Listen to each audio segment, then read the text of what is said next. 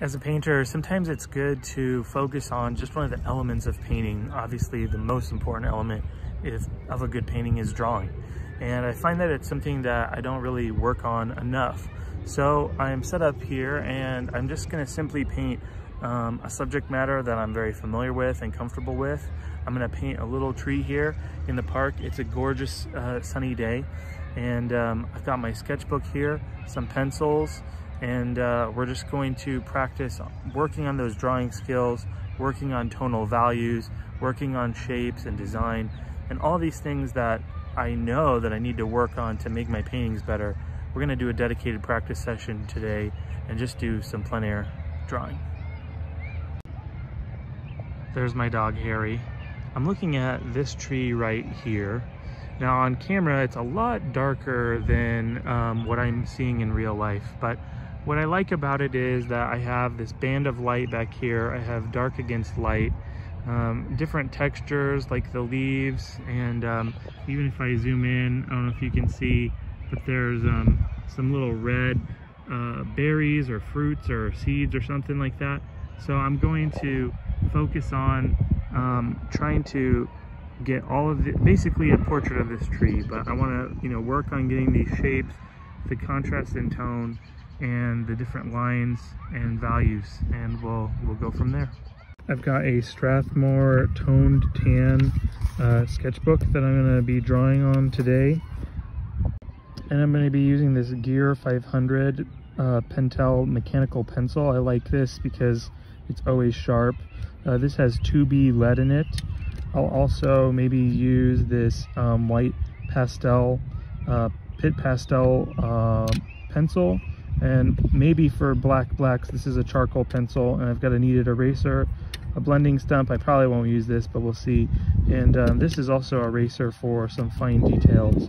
So we will um, use these tools and see what we can do.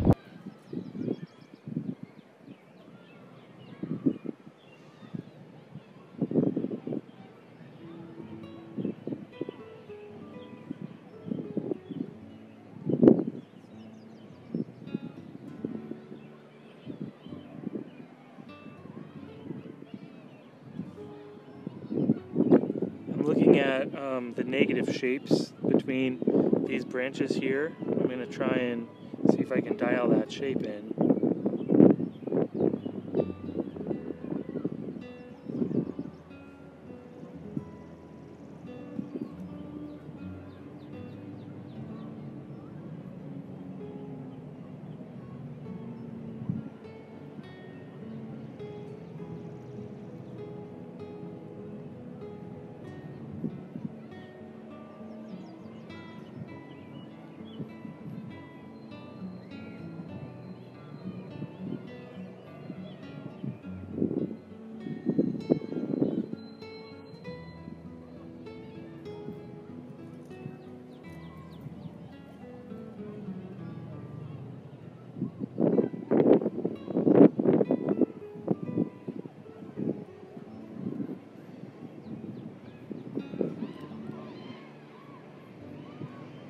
A bunch of school children uh, at a little private school just on the other side of this park, and so if you see her, if you hear the horrified screams of children, that's just a playground. Nothing. It's not the apocalypse or anything that I'm aware of.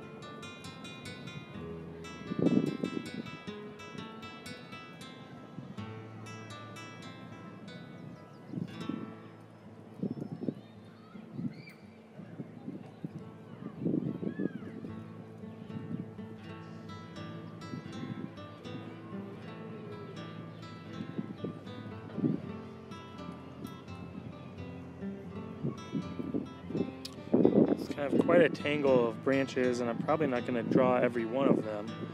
Um, but I am trying to be fairly accurate to um, just practice these drawing skills, you know. Going to kind of put in the shape for some of these um, foliage at the base of the tree. Some little branches that come up from the ground. And then I'm going to put here a marker for the shadow the tree is casting.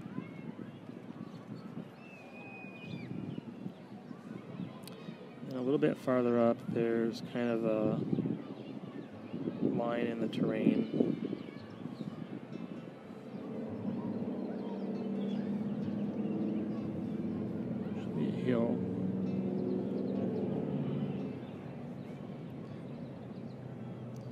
And this is the beauty of pencil. I'm to erase because I made a mistake. So that's why I'm working on these skills. Seems to be a lot lower.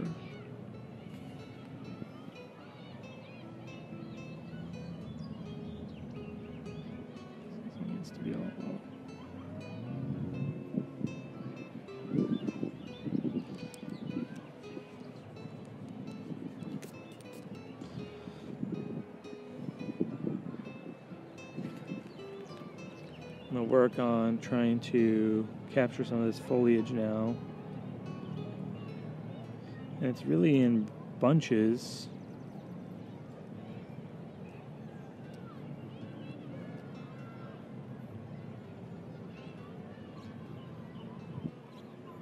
Definitely can't paint every leaf.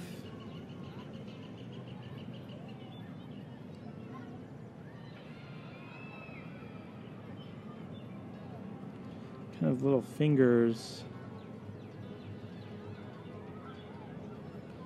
of texture, lots of gaps.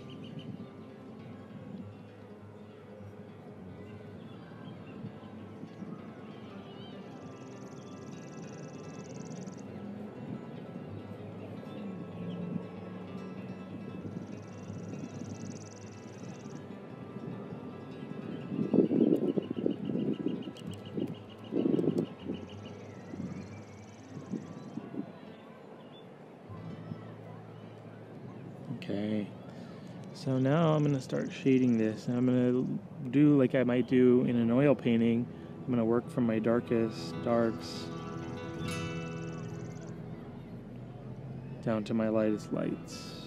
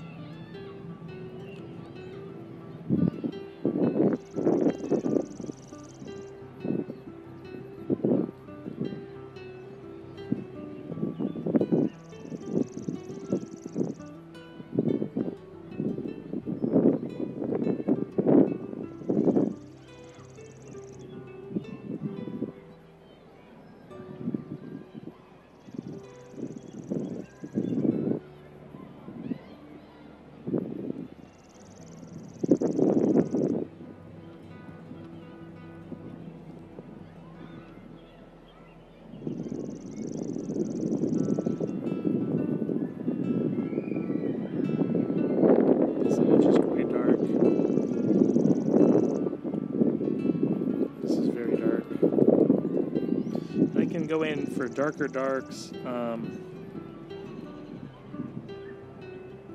if I need to.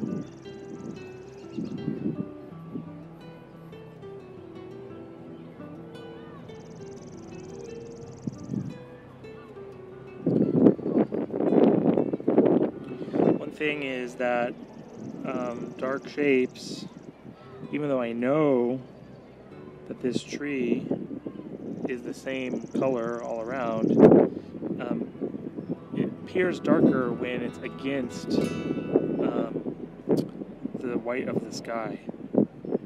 So sometimes you have to compensate and make branches that are against the sky look darker than maybe branches that are even in shadow down here.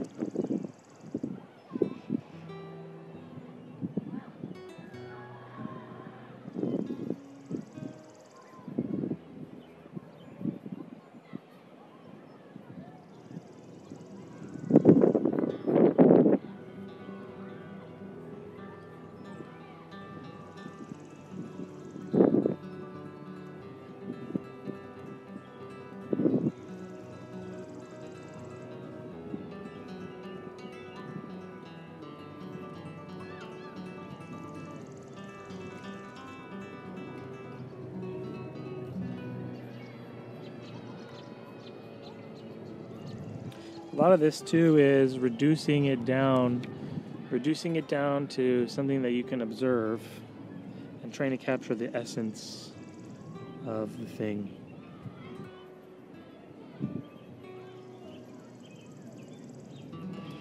for the shadow down here I'm going to shade laterally and then go over the top to produce a texture. And you might do something similar with a painting too. Um, but getting the tone right is kind of more important to me than the um, specific texture. And if I start with the basis of that tone, I can get the texture as well top of it.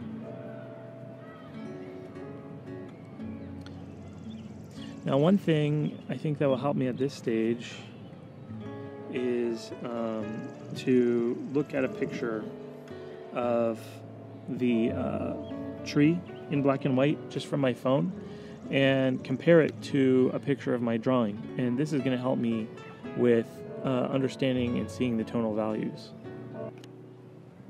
So now that I've looked at that um, picture and I see that I need to go quite a bit darker here with some of the drawing and um, it'll probably help to put some of the other tones in as well. Um, also trying to work on my edges so there's a lot to, uh, to cover here. I think what I'm going to do now is come in with some of my lighter lights um, just to establish the relationship, the value relationship between the dark and the light um, because I don't want to just adhere to whatever's on the camera. I uh, also I want to adhere to you know what I'm seeing. So that's where this uh, white pencil is coming in handy, and um, I'm gonna lay in some stuff for this guy.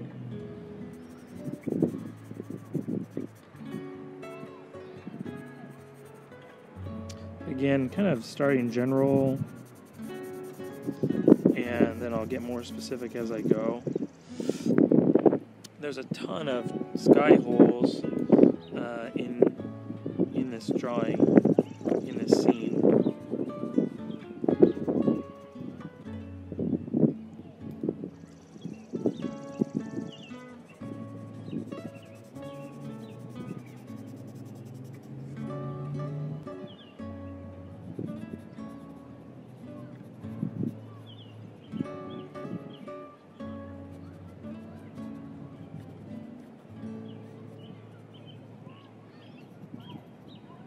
There's a lot in the middle.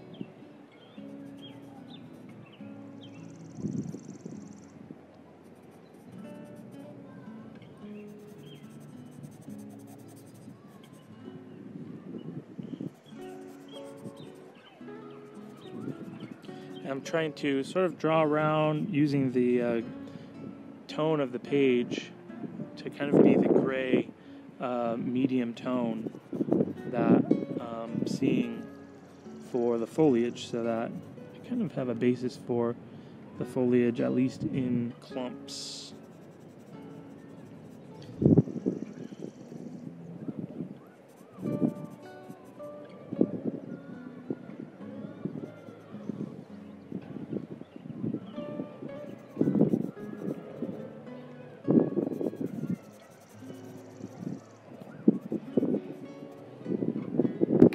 So now that we have that, I'm going to start marking in um, more of the foliage now. I'm trying to sort of approximate that texture.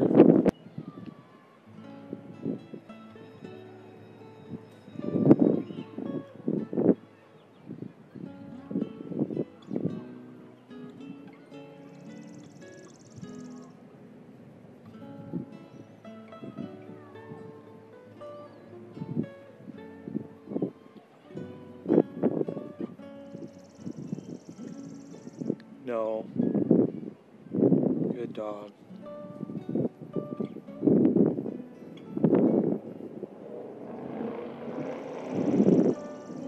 There's too many leaves and branches and clumps of foliage to draw every single thing.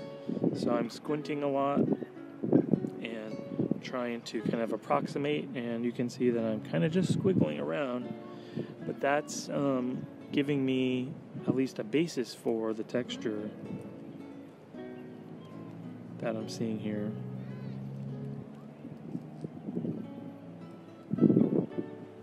Harry. Good boy.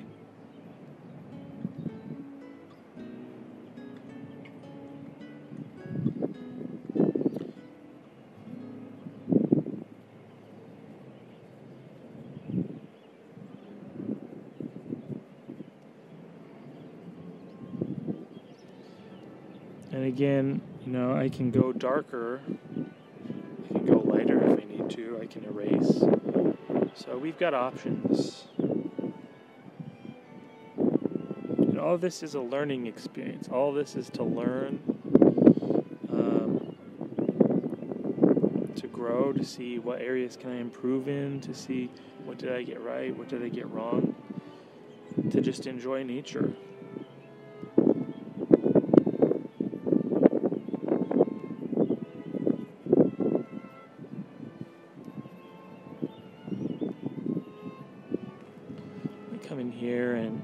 Design a few more branches, specific clumps.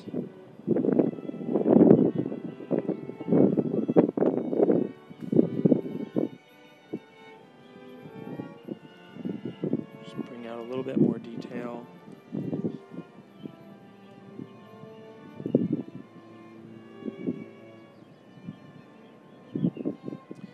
When I'm squinting, I See, it's darker in here,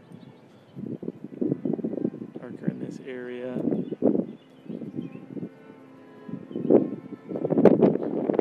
Abstract it out.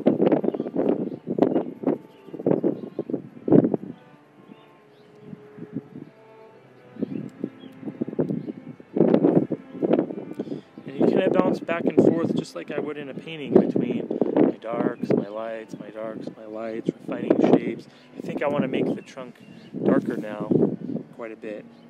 Um, so we'll go over that, all of that. There's kind of some depth of light on it, but I can maybe bring that out with um, an eraser.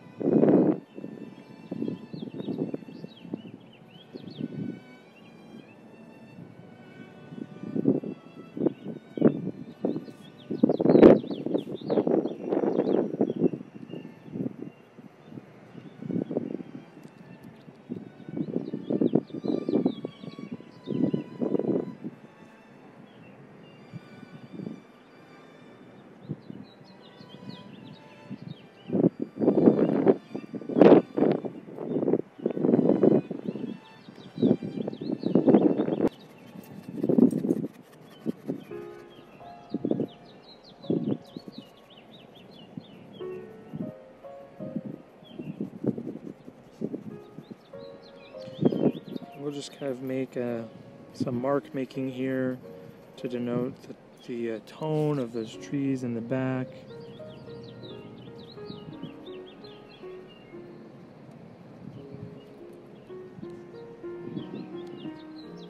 And then bring out of that some specific shapes. Lots of verticals because we're looking at trees. So that can be just like a starting place for you know your mark making, your texture, your your first layer of tone, and then you can come back over it again, get more specific. But we kind of want to keep this sort of vague and abstract because it's in the background, of course.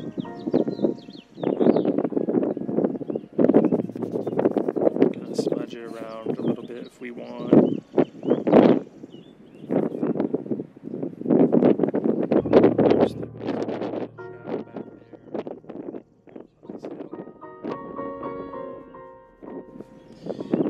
Things that are vertical will always be your darkest dark. So we've got some dark tree trunks.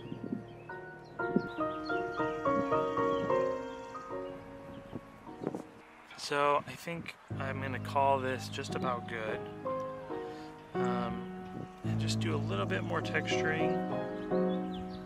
I'm not quite pleased with the foliage, but it is what it is. Um, I like the the tree trunks though, and I think I'm just going to do a little bit more work on this foliage and um, darken some spots here, sharpen some edges, and I think that we will call this good.